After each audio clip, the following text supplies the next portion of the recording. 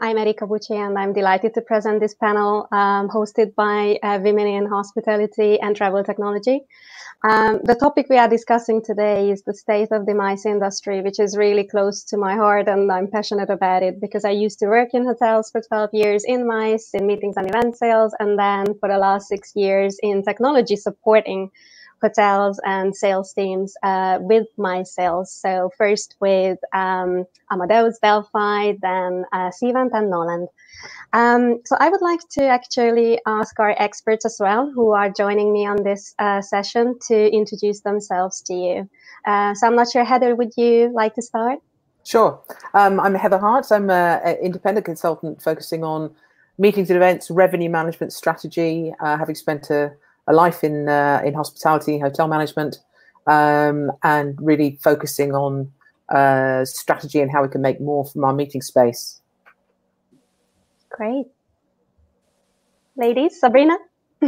Hi, I'm Sabrina Meyers. Uh, I am founder of Hot Hospitality Exchange. My background is I spent half of my career in hotel MICE sales and the other half of it as an event planner uh, working for event agencies booking MICE events. Um, and currently hot hospitality exchange is my platform where i um, do social media marketing coaching and uh, create content from a event planner's perspective. Thank you. Uh, linda Hello, my name is Linda Bekoe. I'm founder of About Partners.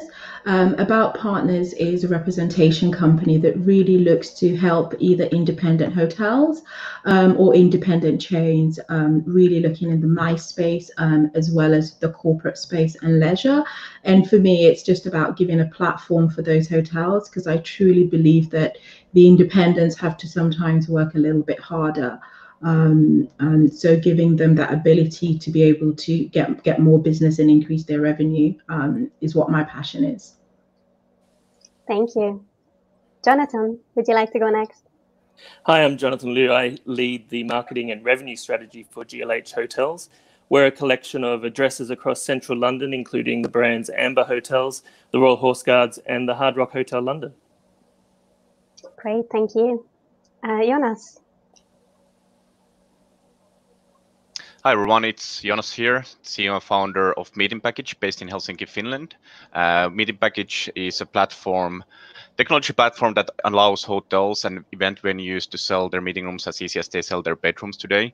So integrating directly to their property management solutions or sales and catering, creating a middle layer, which we call a venue and sales management platform, and facilitating an online transactional journey to the customer facing platforms, if it's the venues or hotels own website or a distribution channel like CWT. Great, thank you so much. Um, we have limited time, of course, as always. So I would like to really jump into my first uh, few questions. And interestingly, even though we are discussing MICE, the future of MICE, I would say, uh, I, I, would like to go back a little bit into the, the recent past and um, ask your opinion on the pre-pandemic situation um, of the MICE industry.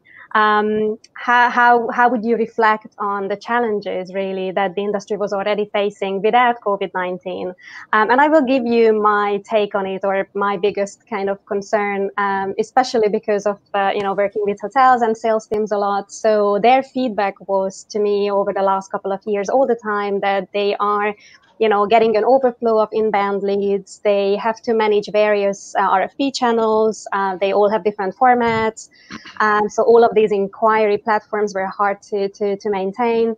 And they were always under a huge pressure to just, you know, quickly respond rather than actually offer a personalized service. Um, and I think that then impacted on conversion. So um, I, am not sure who would like to start. Maybe Linda, can I pick on you on that occasion and, and let me know what your view on this, or maybe you know anything else that you see as a challenge that that used to be a big big issue in the past. I think um, for me, I think that you know um, one thing about the the travel industry has really got to do with technology, and I think that you know technology has been forced on us. So you know now people are doing a lot of hybrid meetings, and before I mean, we all know, knew that Zoom existed. Um, you know, we all knew that different platforms existed, but would we use it? No. Um, you know, because we wanted to hang on to, you know, the face-to-face events. But I think that, you know, with with all this happening, we have found new ways to connect. Um, you know, and this is what the future will look like. I think um, a lot of internal meetings might not get sign off, um, so it will be more client-facing meetings. So we will have to adapt. Um, and it's quite sad that it's been forced on us um, this um, um, adaptation. That's true. So in terms of the, the, the, the pre-pandemic challenges from, let's say, um, a, a, planner's point of view, Sabrina, what is your view on that? What kind of challenges you were facing and your clients? Well, I've always really worked uh, in boutique event agencies, so not the big boys. Um, and I've always preferred to go directly to hotels, not through Cvent or through a lead generation system um, just because I always felt that I wasn't getting what I needed through the templates or whatever that were set in place. So I would have preferred to just call someone or send them a detailed email on my requirements. And I always felt that what I got back from doing that was better. Um, so I don't know uh, if that is something that will change. I know that technology is being embraced uh, furiously by the industry at the moment, um, but also from I do a lot from the social media perspective. And one thing pre-pandemic was that hotels weren't really embracing social media for MICE in terms of showcasing their properties and its MICE capabilities to the level that it was showcasing, for example, leisure or business travel. Um, and I really hope that that's something that does change because in terms of revenue generation, I would imagine MICE is way stronger. So why wouldn't you? That's great feedback, actually. So now that we are turning to revenue, and I think we have quite a few people who can who can add to that. Um, what is um, you know everyone's uh, thought on um, you know pre-pandemic challenges when it comes to the revenue side, especially MICE revenue, if you can call it that way. So I don't know if, if uh, Jonathan, you would like to start, or I think over the, the previous two or three years, we've seen a huge leap in the ability of analytics and, and demand for meeting and events. I think from the rooms perspective, uh, even ancillary revenues like spa, it's been there for quite some time and we've had a lot of advancement. But meeting and events has really been the, sort of the last area that's caught up. And we're only just getting there now, understanding how we can connect systems together before we can even get to the point of forecasting demand and, and, and truly revenue managing that space. I don't know, Heather, do you have anything to add from your point of view? Sure, I think I, I, I absolutely echo what uh, what Jonathan said, but I, I, think in hotels, particularly, not so much in conference centres and, and standalone venues, um, there's so much emphasis both in technology, investment, uh, understanding, and strategy uh, focused on bedroom sales. Uh, and meetings and events seems is often the poor relation and doesn't have the same investment in either technology or expertise revenue managers rarely take ownership. Jonathan's a great exception, um, but rarely take ownership. It is changing for sure. Um, but you know, a lot of revenue managers say, we, well, we don't touch M&E. Uh, it's all about the bedrooms. Um, and that comes from the top of organizations. It's a cultural thing in organizations. Um, I think many hotels don't understand the value of their meetings and event space. They don't know how to measure it. There aren't good KPIs.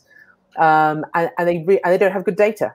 Um, you know, all of the systems, the diary management systems, often information doesn't get put in those systems. Uh, and so getting good revenue numbers out, getting good data to be able to forecast demand and all those things is just lagging behind so much. Uh, and yeah, that, and that was pre-pandemic, and obviously, you know, demand is definitely going to change going forward. But without those fundamentals, um, it, it's a it's, it's a long way back. Mm. I see. So um, when it comes to analytics now, turning to Jonas, I understand you focus a lot on that. So what would you say was for you maybe uh, the biggest challenge before the pandemics that you saw with hotels, you know, using analytics? I think the biggest, uh, as Heather said, is the understanding of the uh, current numbers. So there was no sense of urgency to kind of jump to the technology, to change your infrastructure, to change your existing processes. And what we've seen now, pre pre the pre the crisis and pre COVID, is that when things weren't digitalized and when this crisis hit, everything was human driven and sales driven. And what that means is that uh, now during the crisis, when people are furloughed or laid off, partly or hotels are closed, you cannot even sell the future. And with future, I mean even 2021, 2022. And the problem is that there's nobody re- reacting to these RFPs. There's no human power to actually reply to these offers.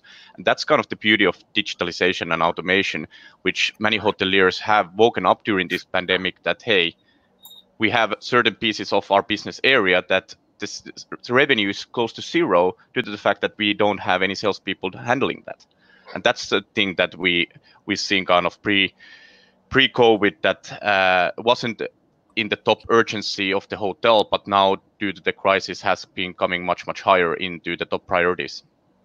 That's a very valid point. Um, agree with that. Um, I will actually take a little bit of a shift to the planner side. So Sabrina, sorry, but I will probably put a little bit of pressure here on you. But I would like to give you some um, additional information here. So I'm not sure if you guys are following um, Cvent. They also have some good reports. So I actually looked up their June data which mm-hmm. actually gives you know the, the most important update which says that you know sourcing is trending upwards for the last six weeks which i guess you know for any hotels on the call is a good sign mm-hmm. um, larger meetings are actually the ones that are uh, becoming more and more um, you know relevant within that uh, sourcing rather than the small ones which to me was very surprising. I was thinking it will be really just the small ones. And um, lots of markets are trending up but also um, the rates are actually going down uh, which maybe we expected, um, but you know only up until Q2 2021. So um, what I'm really interested in, and I, I think everyone else and, and will now again turn to Sabrina is, uh, you know, based on all of that, uh, do you actually agree with this? Do you see the same kind of uptake in activities when it comes to, you know, the sourcing? And uh, I don't know, you know, how your clients are doing at the moment, but, you know, are you processing any event briefs at the moment? And if yes, for when? So at the moment, definitely not for the remainder of the year. Any sort of um, inquiries that I'm working on currently are for 2021, and they are actually more for, I would say, quarter, like from June onwards, 2021. So quarter three or end of quarter two. Um, the numbers actually, it's very interesting that Cvent reports that because I um, I was also myself predicting that the clients would make them smaller. Um, but there hasn't been a number shift in terms of um, okay you know we we brought one of the clients that i used to work with is a big technology company and they were actually starting to bring all their departments together and create larger events. Um, but now i thought okay maybe they'll split it up again and they'll do separate conferences again. But no it's uh it is not the case. Uh, they are still continue to doing the large events. Um, maybe it's from the point of view that we might as well do it once and get it over with instead of doing events over and over again. Um, and in that sense, being able to manage the budget from the client side more effectively.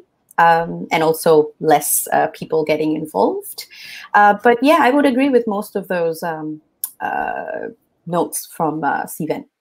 So you also agree that probably you know rates will be going down for a while um, even though everyone says don't drop rates, but it eh, looks well, like everyone is dropping or has to. Everyone is dropping rates. I think um, I, I, hear it a lot on the leisure side. There's a lot of hotels that are dropping their rates on the leisure side, um, especially from the five star category. Uh, but I think there's always going to be a point to which they drop it. They're not going to, you know, completely go nuts i would say um, so it, i think it just really depends it would be i think it's going to be a situation where the four star properties are going to get a lot more competitive with the five star properties in terms of pricing. So, from a planner's perspective, that might lead me to being able to afford a five star property for an event, whereas before I wouldn't normally have, and I would have to put my event into a four star property.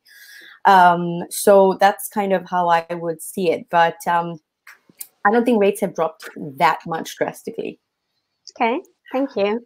Um, I don't know if Jonathan, you have anything to say about the rates. Uh, how do you feel about you know maintaining, increasing, decreasing, especially of course when it comes to meetings and events? The, the hardest challenge at the moment with meeting events for us is the, the social distancing and what that means to a, a, meeting room in terms of occupancy and capacity. So we're trying to, to work through and, and find what's what's right for the hotels, but also what's right for the client to make sure that they're getting the most out of what we can provide them because our, our capacities have shrunk considerably based on on this social distancing. Okay. Um, Linda, I know you are working actually on um, on a special project at the moment, um, and um, it is related to you know how to actually set up the correct procedures for that new normal of meetings and events. Um, mm-hmm. Would you like to share anything about that? I think uh, one of the key things from um, a venue perspective, whether it's hotel or venue, is really looking at um, the standards that they're putting in place and how these standards are being communicated. And, um, you know, I was talking to someone earlier that said a hotel sent them a 25 page document of all the stuff they've done. You know, people are not really going to read that. So we need to make sure that the information that we're conveying is really short and sharp but it lets them know about what we're doing from a social distancing perspective, lets them know what we're doing for food standard, food hygiene, cleanliness. All these things are important to meeting planners. So even if they know this before they start to choose our venue, at least then they have a good understanding of what they can expect once they do an event. And I think that as an industry, the more we communicate in a very efficient way, then people will have the confidence to return back. Mm-hmm.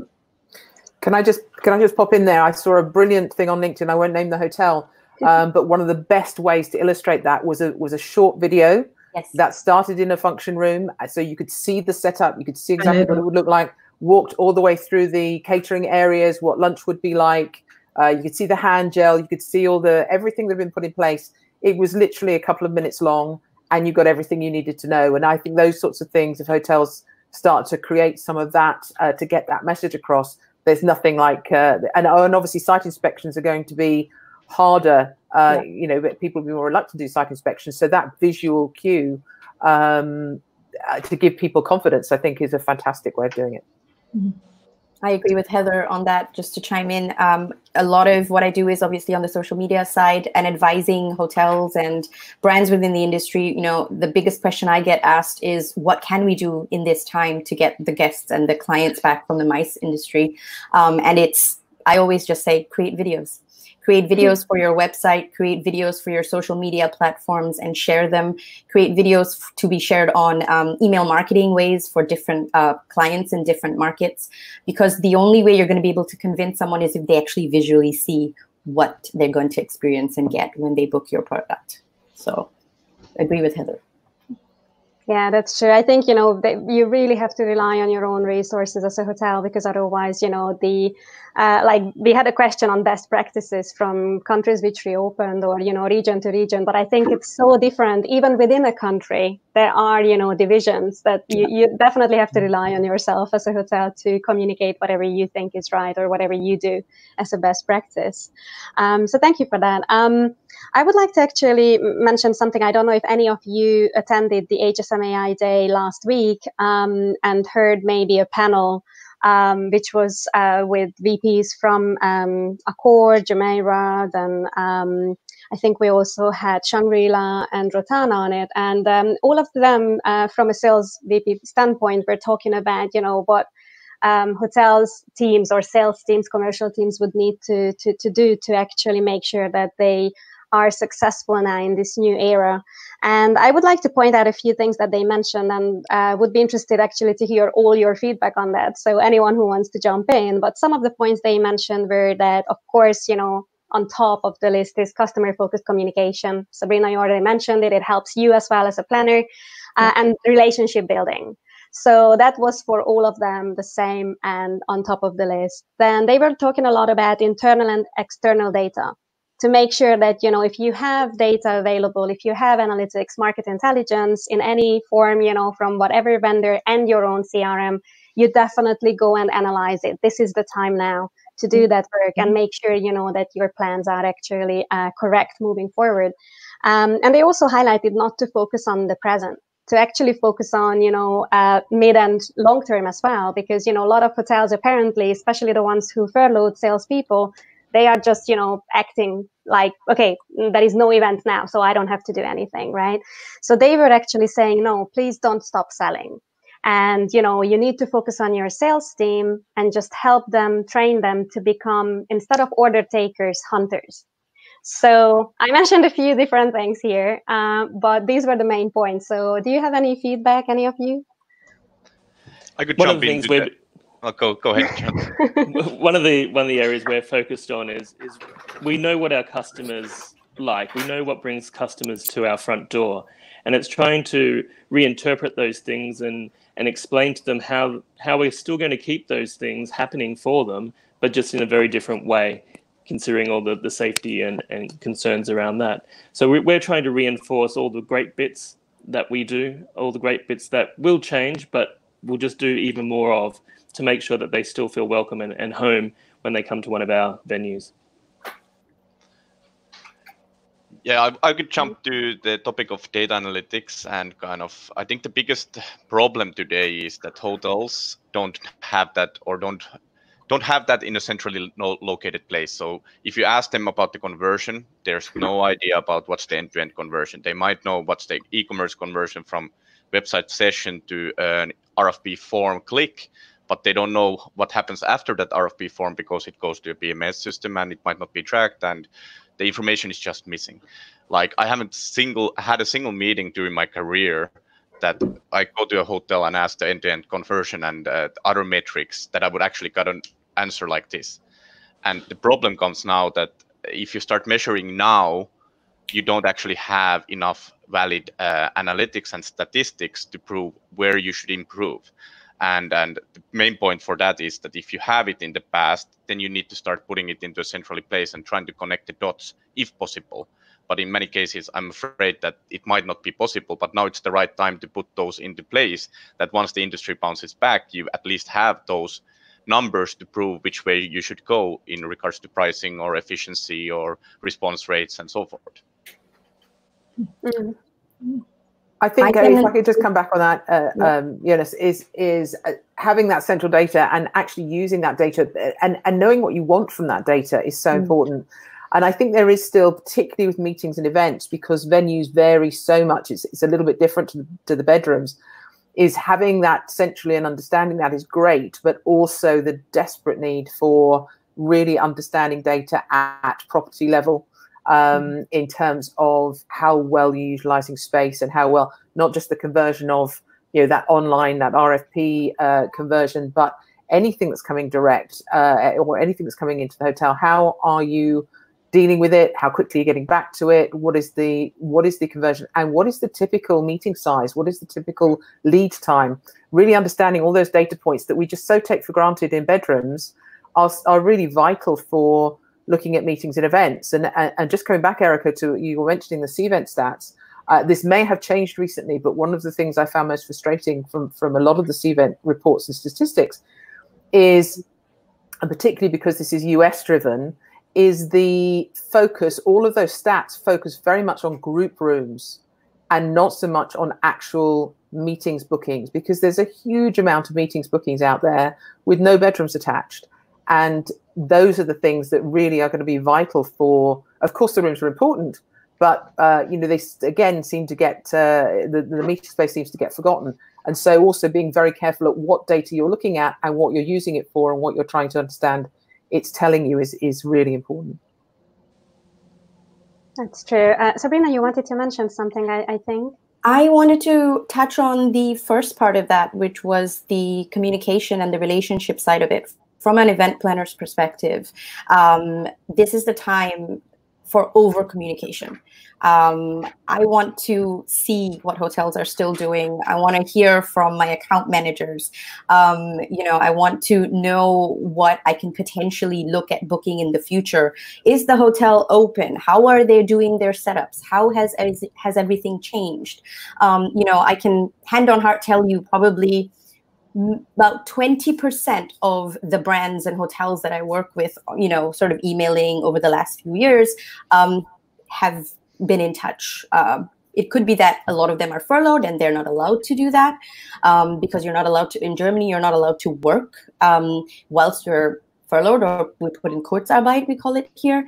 Um, and, but in, in that same um, uh, sentence, I want to to stress to the hotels and the brands out there that it's so so important to over communicate right now so that you can get the business later and to reconnect with your clients and keep connected with your clients right now and not just pop out of the blue in January and be like, "Oh, it's 2021. So are you planning anything this year?" And I haven't heard from you in the last six months. You know, so it, it's it is a journey that you're taking with your client, and that should be how you're doing it. And it, whether it's a bad one or a good one, you should kind of have them all along the journey along the way. Um, and that's not really been happening a lot, uh, and very very obviously, uh, it's not been very visible at all from my side.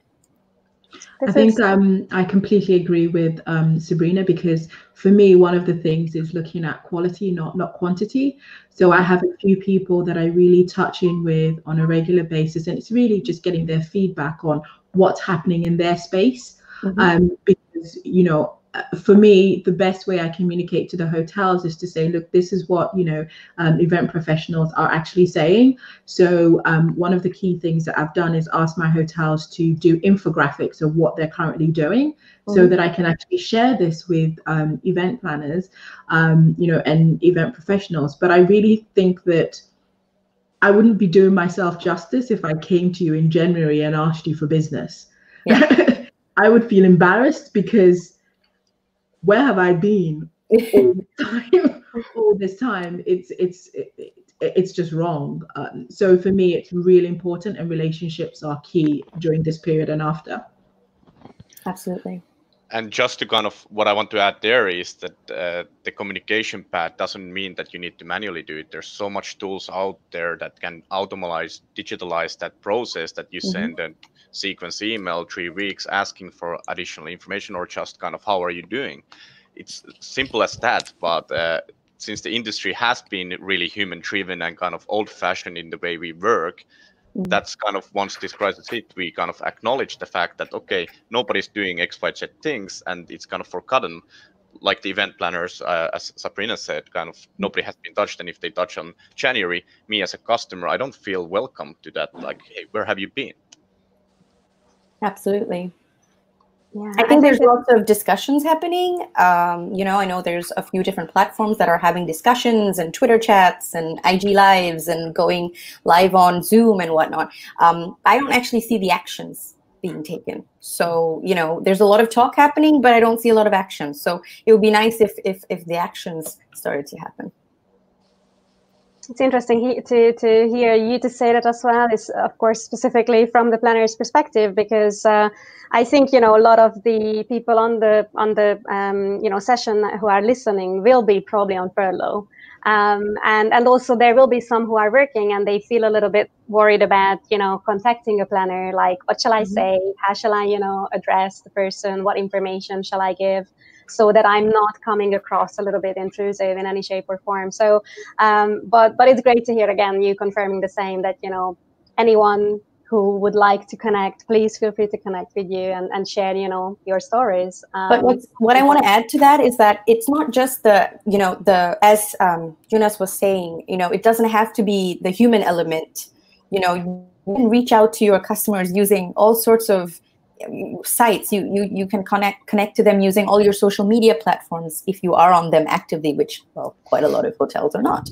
Um, it is uh, you know you can also do email marketing which is at the touch of a button. You send emails to a ton of your clients and you can get them customized. You can also for example um, update your website you know and just give updates going hey it's week number six. We're in lockdown. This is what we're doing. Not much just put a still photo. It's funny. People remember it, but at least you're giving an update and you're showing a sign of life as to what's happening at your property and you know what's happening with your team. Maybe someone started gardening, maybe someone turned into a Michelin star chef. You don't know. but if you don't communicate that, you know, you're you're you're you're back way, way, way back in the race to getting that piece of business in the future. it's also, I think, being quite uh, creative about selling opportunities and, and looking at how are things different. Uh, for example, so many, you know, the, the uh, um, venues lost a lot of business to uh, new office buildings. Every time a new office building was built, there was a whole big suite of meeting space, which with social distancing isn't necessarily big enough to handle what's needed mm. now. So potentially there's an opportunity uh, for venues to, you know, suggest to to, to companies uh, you know, your space might not be big enough, but but we have, and also with the, the amount of home working that's been going on, um, there is a need to bring people together uh, physically um, mm-hmm. to to just kind of keep that team communication awareness. You know, home working and Zoom calls and you know Skype and all these things are fantastic, but people still you know need to meet and want to meet face to face and have that contact. And so, you know, suggesting bringing, you know, bringing your, your home working teams and those sorts of things together. There's there are opportunities out there. They they may be few mm-hmm. and far between, but they're there, and it's really plugging into those and making those kind of suggestions. And that actually leads quite well to my favorite question: is um, uh, about technology, of course, how can technology support then, uh, you know, the my sales efforts? And yes, we heard it, it is, you know, an aspect to it from Sabrina and Jonas as well that, you know, which is automation. Uh, but also, of course, there are other aspects to technology that can at least enhance efficiency, even in a smaller team, if people start to return to the offices. So um, I think there was always a bit of, um, an adoption issue in uh, pre-COVID because people were, like Jonas mentioned as well, just put it at the you know side, like okay, it's good, but we don't have to do it now. We don't need to do it now. Maybe you know we spend on something else. So. Um, what do you think? You know, how will now hotels uh, turn to technology? Will they turn to technology, and also, you know, will they actually embrace change? I think a lot of us have started to embrace change in terms of, you know, I've seen a lot of uh, event professionals or planners like myself get on social media, for example, and start to engage with brands and other event professionals and really come out and create uh, or be part of this community. And it's definitely growing. Um, and also from the hotel side, uh, I've seen lots of event sales professionals also embrace social media and join the community and get that because I guess a lot of them are seeing that this is one of the only ways we can engage and build our community right now um, in order to build that foundation for when we can get back to live events.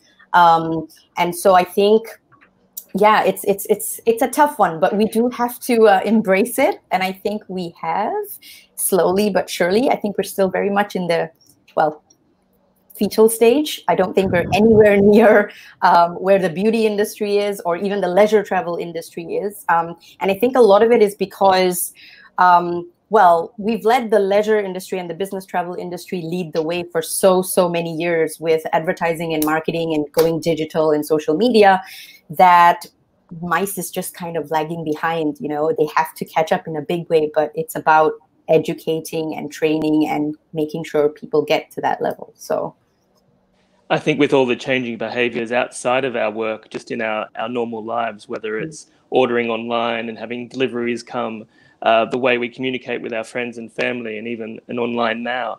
I think because we are changing so many behaviors in other regards, the change of behaviors in meeting and events is a much easier step, and mm. people are prepared to take that, that step now. So it's really trying to to take the best of all the other industries that have been before us, mm-hmm. look at what they've done really, really well, and and to catch up and almost jump over the top of them because we're we're coming from such a low base. We can come in and create something that is brand new and mm-hmm. perfect for what we need, rather than having to fix something that may have been there for the last three or four years. Can it not be a mm-hmm. challenge though? Uh, and that's again just to, together with the, the previous question that, you know, of course now uh, hotels are under such a huge pressure when it comes to cost. So mm-hmm. technology usually comes with with some investment. So um, do you think that there will be an opportunity still, or it will be hard in the next uh, period? I, I, could maybe take that one. Uh, in a general thought, as as we discussed earlier, kind of uh, now is the time that hotels have reacted and understood that things need to change, things need to happen.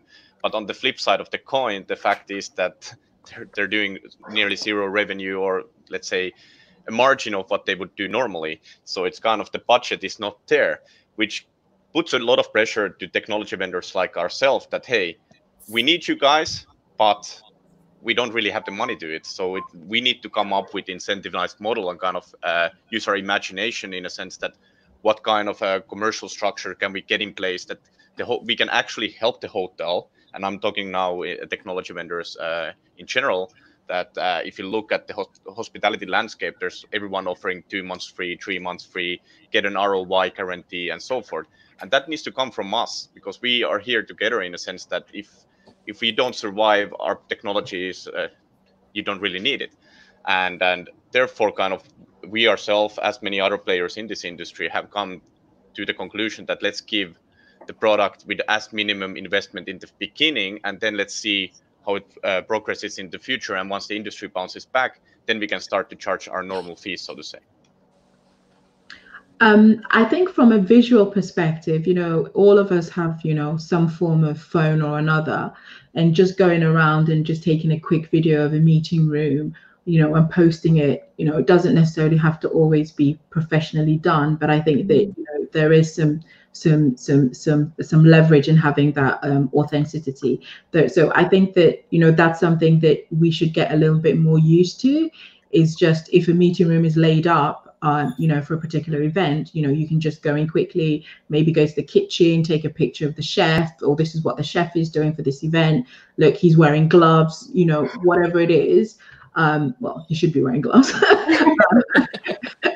you know, and then and then and then just posting it. So I think that that is something that you know I think that venues can can can easily be able to do, um, especially the ones that are are are opened um, social media is free. So, you know, it's free to set up an account and it's free to post. So that doesn't cost you anything. So it could be that the, you know, it's maybe more about investing in your people and getting them to learn how to effectively use social media so that they can do exactly what Linda said, so that the event sales manager or the executive can then be the eyes and ears of the hotel and be the person posting to social media. People at the moment are craving authentic content. They're not craving, um, you know, uh, edited images where, you know, if I as an event planner go to that ballroom and it looks completely different than what I saw on their Instagram page, I'm not going to be happy about that. So I'd rather see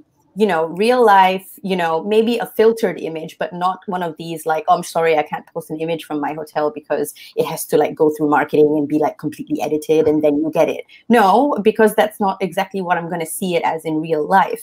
So, you know, real authentic content is very, very important. And also, hotels need to understand or venues, user generated content is your best friend. So you've got event planners day in and day out or you've had event planners or companies day in and day out using your spaces who have taken photos who have taken videos and who might have posted and tagged you in all these um, images and videos. Use that content. That's the reason that they tagged you.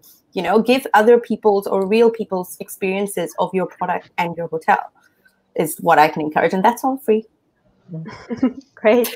Heather i don't know if you have anything to add to the technology side definitely I, I think one of the key things is is use the technology you've already got better. Um, you know i see so many times that with uh, with sales and catering systems diary management systems um, you have this great technology it's invested in it's quite expensive and then actually using it to a minimal amount and still doing proposals on word documents and sending out invoices in something else and uh, you are typing up function sheets manually and all that kind of stuff. Um, so there's huge uh, investment in technology that's there it would make us so much more efficient in terms of response times. Uh, you know, there's going to be pressure on headcount as, as hotels open back up again with uh, not so much demand and, and, and, less business is people need to do more with less. Mm-hmm. Um, mm-hmm. And so using existing technology is, is absolutely essential. Um, and and then the obvious one is, is that online booking is exploring online bookings. I think one of the reasons that um, live online inventory hasn't been um, used in the same way that we do with rooms is there's no yield management, revenue management product that can automatically tell you what price you should be selling that room at on what day. Mm.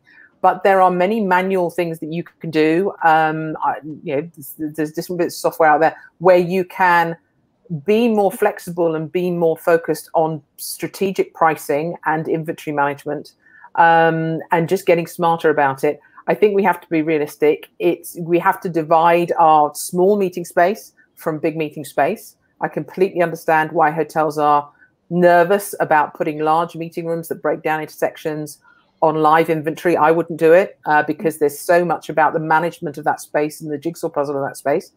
But you're 30 people or less, 40 people or less that are pretty straightforward. Um, get that inventory out there online, get it distributed uh, you you know it will make uh, that sale process much more efficient. Uh, and you know exactly, I think as Jonathan, Jonathan said earlier, people are much more used now to getting online and mm. booking stuff. And if it's simple and straightforward, they'll they'll do it. And if you're not out there, then there's a great lead in there for you, Jonas. Thanks, so to say. Uh, but yeah, I truly kind of cope with uh, what Heather said in that sense, and that's what we see now. The hotels reacting and opening their eyes in the sense that hey, we have the online booking for bedrooms, we have the online booking for our restaurant and our food and beverage that are using Deliveroo or whatever software or kind of delivery services are used. But then our M&T space, you just have an RFP form or even a phone number only in the worst case. And, and that's the reality where the technology or the booking possibilities are in the hotels today. And, and there's uh, players out there, including us, uh, who are solving this issue. But there's, let's say, so many hotels that are out in the world that don't have any solution in place. So mm. there needs to be great players solving this and even hotels solving this themselves because that's the new standard that has to be that uh, you can book that meeting room or event, event space easily online you can see the pricing it goes to the operational system of the hotel the same way as any bedroom booking goes and and thankfully now the open the eyes have been opening up through, from the hoteliers uh, due to this crisis I think that's great, I, and and probably we could start another conversation on you know the um, you know putting everything online when it comes to meetings and events. I think it's a very exciting topic. So maybe Rita will will actually end up putting a, a, panel together for that. I'm mindful of the time, and I would like to just pose a final question, uh, which will be more like just giving some tips uh, to uh, people who listen into. So uh, I'm sure there are lots of resources out there, and we discussed before we actually started this call that um, a lot of them are not really specific to meetings and events. So um, I just wanted to mention a few, and would like to also see if you have anything that I don't, I can't think of that you would suggest for anyone listening in to also maybe look into when it comes to you know any kind of resources that they can utilize now or study. So um, what I was looking at is Amadeus and HSMAI. So they do have an and they also cooperated to actually work on different guides for various different part of the business from marketing to sales to meetings and events so it's definitely something that could be uh, checked on their website um, there is also a company called upmail and of course I, I, have to also praise my company Knowland so we also put together um, a very informative huge section on our website for um, meetings and events and, and you know any resources uh, that you would like to really read or watch. So uh, I don't know if you have any other suggestions for people who listen in. Embrace social media. Go through all your social media accounts and see how much of MICE is represented on those feeds and not just women in bathtubs drinking champagne staring at windows uh, leisure images are wonderful, but it would be much more powerful if you actually dressed up your meeting spaces and showed that off for a second, and more than often. One thing, I, what I would add there is that uh, to ask for help or kind of ask for guidance. We have seen the fact that uh, hoteliers and uh, resources currently working, they have no there's not a one person who understands the whole funnel and and sometimes there's nobody who understands the M&T funnel so as companies who work in this field the guidance and the help on that we and i would say all the other players out in the market we're happy to help and kind of consult nevertheless if our product is used or not because that's our common goal to help this industry kind of move to the next generation technology I think one thing to, to remember that there's more to hotels than meeting rooms. There's so much space in a hotel that can be utilized for your events, whether it's whole accommodation floors, which you can convert into different areas or restaurants and bars, or even lobbies and car parks. It's amazing how you can dress mm-hmm. up a car park into something really, really amazing. So push for different options and, and ask your, your hotels to, to come up with the ideas because there's plenty of space between all those walls. I definitely echo um, sorry um, because one of my hotels they do uh, picnic meetings um, you know and you know they're in switzerland so you can imagine looking at the swiss alps you know and doing a picnic meeting i, I haven't done it yet because obviously I, I can't go anywhere but i think that's one of the first things that i want to do so i think it's about us also thinking outside of yeah. what we normally do for meetings, but then looking at other ways um, you know, of utilizing that space. So I definitely echo Jonathan, definitely. Yeah, and, and I think just to just to add to the both of those points is really understand the value and capacity and opportunity in your space. So as a mm. venue, look at every area, look at every every function room, bedroom, as, a, as Jonathan says, restaurant, bars, open space halls. What is the opportunity? What is the how many people could I get in here? And particularly as we know we're going to have more limited capacity, what is that capacity? If my room for 16 now only takes 20 people, then I need to focus on the opportunity of that room for 20 people. How can I maximize that? Um, don't necessarily settle for those lower numbers because in a panic it's an opportunity and we just want to fill that space. Really understand the opportunities, you know, of all of that space and, and work on that jigsaw puzzle of filling that in the best way possible. Great, thank you so much for all of that. I think you know, I, I in in summary, um, it is all about being creative, isn't it? Communicating, social media, of course. I can't forget about Sabrina's social media. Uh, we heard it a few times, and it's a very valid point. Thank you for that. Um, and I think you know, again, technology and analytics. So, like uh, Jonas mentioned it, I think it's very valid that um, speak to um, anyone in the industry, not just hotels to hotels, but any other key players, just like the vendor side, like you know ourselves as well, where um, we can help with some um, you know suggestions or tips as well and it can just be a conversation. It's not you know related to an actual business exchange in that sense. So thank you very much for the panelists for joining us today um, and supporting WHTT with this uh, conversation. I hope it will actually spark some more interest into meetings and events and hopefully we can you know uh, come back again very very soon and you know have another conversation. So thank you very much for your time and have a lovely afternoon Thank you. Thank you. Thank you. Bye. Thank Bye. you. Bye. Bye.